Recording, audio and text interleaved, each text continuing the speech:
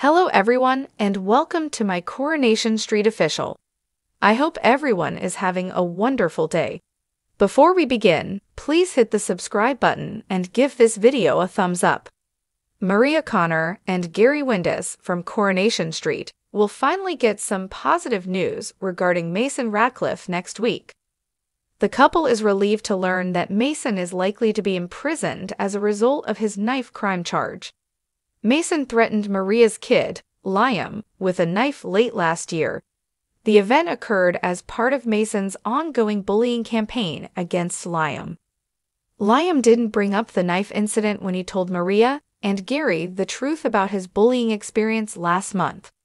On Monday's episode, March 4, Liam's younger stepbrother Jake Windass revealed the truth to Maria and Gary instead.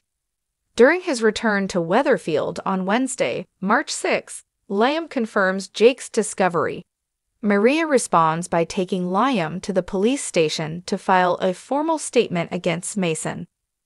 Mason attempts to frame his erstwhile friend Dylan Wilson for the crime, but Dylan eventually does the right thing and tells the authorities what he knows about the bully's actions.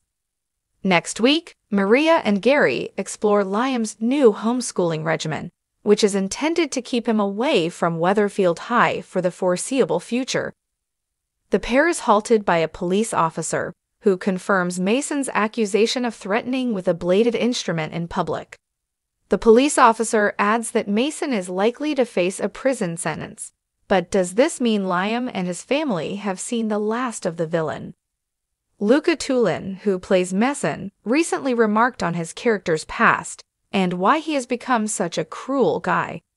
Luca told Digital Spy, he doesn't have a father figure around, which explains a lot. He is quite involved. He is heavily influenced by masculinity, which does not offer him with an avenue to express his emotions, just the contrary. He has been encouraged to suppress. It's like shaking up a can of Coke.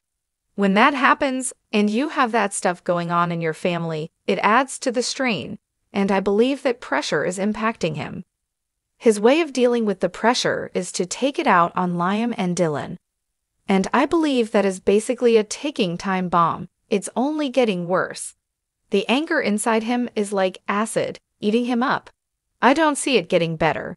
I can only see things growing worse because of his background. Coronation Street spoilers follow. Jake Windass has made a startling disclosure about Coronation Street bully Mason Radcliffe. Mason appeared to have gotten away with bullying Liam Connor again last week when Dylan Wilson declined to grass on him. In Monday's episode, March 4, Maria Connor had to be restrained from attacking Mason after he walked into the cafe while she was bringing Liam out for a milkshake. The family received some positive news when Liam's teacher, Mrs. Cranshaw, confirmed that she was gathering evidence to dismiss Mason from school. Unfortunately, Mason was up to his nasty behavior again, as Liam watched him bullying another boy at school. Liam told stepbrother Jake Windass about what he had observed, but he acknowledged he was too afraid to report Mason for bullying someone else. What will he do if he discovers I've grassed him up again? He'll come get me, Liam explained. Then he said, This other boy is going to have to deal with it himself, just like I had to. Jake took matters into his own hands, disclosing to his father, Gary Windass, and Maria that the bullying extended far beyond their knowledge. Mason wasn't simply bullying Liam. He threatened him with a knife, Jake said. This revelation will set off a chain of events that will spiral out of control during the week culminating in Dylan being outsmarted by Mason and arrested. Adam Barlow's destiny has been revealed following an attempted murder plot against him on Coronation Street.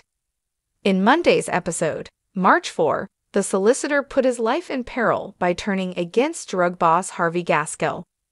Adam had agreed to assist Harvey with his appeal over Natasha Blakeman's death in exchange for Harvey taking retribution on his behalf against Damon Hay. However, Adam has subsequently reconsidered this deal with the devil, even after signing his divorce papers with Sarah in the most recent installment. His crisis of remorse led him to remove Harvey's appeal paper and then hand over some damning CCTV footage to the police under the alias The Murder of Natasha Blakeman. Adam sought to persuade Sarah to give him another chance after Harvey threatened him that he was a dead man with a phone call. Let's tear these divorce papers up and start again, he said. Sarah was conflicted by Adam's appeal, prompting her to dash out into the street. Bethany followed her mother, only for a car to accelerate Adam around the corner to and push Bethany Bethany out of the way just in time, but he was mowed down by the automobile before it drove away. While Adam's prognosis first appeared bleak, Sarah was told at the hospital that he should recover completely. A detective asked to speak with Adam and explained her view that it was an attempted murder. I guess you create many enemies in your line of business. Is there anyone who wants to hurt you or your family? Adam was asked. Adam paused before saying, Not that I know of. Meanwhile, Sarah told Bethany that Adam's sacrifice made her realize she still had feelings for him. Sarah went to Adam's bedside to express her feelings, but was horrified when he revealed that he had been working with Harvey to exact revenge on Damon. Sarah was concerned that Harvey would try to target her or Bethany again, but Adam asked her not to go to the police. You've got to trust me, he urged, to which Sarah responded with disgust. Trust you? I can't bear to look at you. Has Adam ruined his chances for reconciliation with Sarah? In the area we used to hang out, there would be some lads that would sort of resemble Mason. Coronation Street actor Luca Toolan, who plays Mason Radcliffe, has revealed the real life inspirations for his character. Fans of the show will be aware that Weatherfield bully Mason has orchestrated a nasty campaign against Liam Connor, encouraging Liam's erstwhile friend Dylan Wilson to assault his classmate both online and in person. Toolan told Digital Spy and other media that he had never observed bullying at his all boys school, but drew inspiration for Mason's character from happenings outside of the classroom. I went to an all boys school, so to be honest, the only things I did see would be outside of school, which is where I took a lot of the influence for Mason, said Toolan. He went on to say, In the area we used to hang out, there would be some lads who would sort of resemble Mason, but we were usually the ones running away. So I think when you see that, and it's so imprinted in your mind, and you grew up watching shows like that, I think that helped me quite a lot with that character.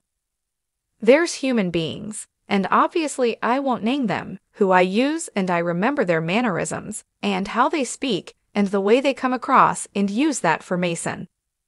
When asked if being good friends in real life with Charlie Wrenshall and Liam McCheyne makes filming bullying situations easier, Toolan said, way easier.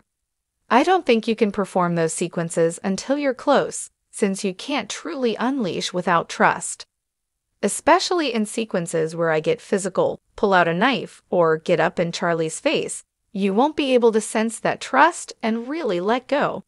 So I believe is critical for our relationship as a trio, as well as the performances and what you see on television, to have that connection.